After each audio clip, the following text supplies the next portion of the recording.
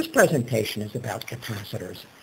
Capacitors are an electronic component, but they could be considered to be an electrostatic component. Capacitors store charge. The capacitor, sometimes it's called a condenser, especially in automechanics, is a two-terminal electrical component used to store charge in an electric circuit. The forms of practical capacitors vary widely but all contain at least two electrical conductors separated by a dielectric insulator.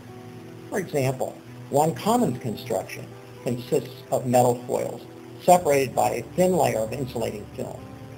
Capacitors are widely used as parts of electrical circuits in many common electrical devices.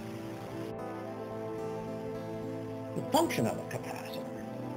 When there is a potential difference of voltage across the conductors, a static electric field develops across the dielectric, causing positive charge to collect on one plate and negative charge on the other. Energy is stored in the resultant electrostatic field. An ideal capacitor is characterized by a single constant value of capacitance, measured in farads.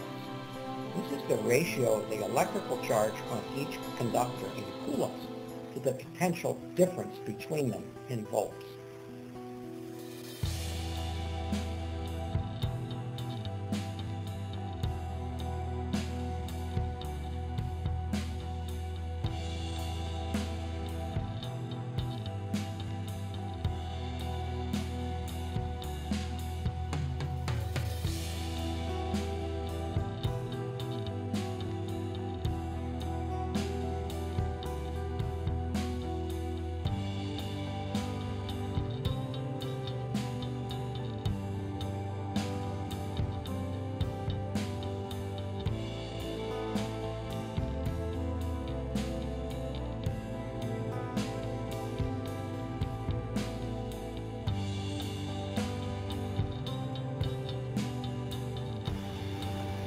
The stored charge on a capacitor is potential energy.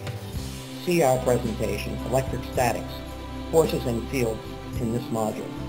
This energy can be expressed as a function of the charge on the capacitor, the voltage on the capacitor, and the value of the capacitor as stored energy is one half the product of the charge, the value of capacitance times the square of the voltage between the plates. Capacitor application. Capacitors are widely used in electronic circuits for blocking direct current while allowing alternating current to pass in filter networks for smoothing the output of power supplies, in resonant circuits that tune communications devices to particular frequencies, and in electric power transmission systems for stabilizing voltage and flow. You'll learn a lot more about capacitors in this course and the subsequent course that follows, the advanced course in electronic circuits.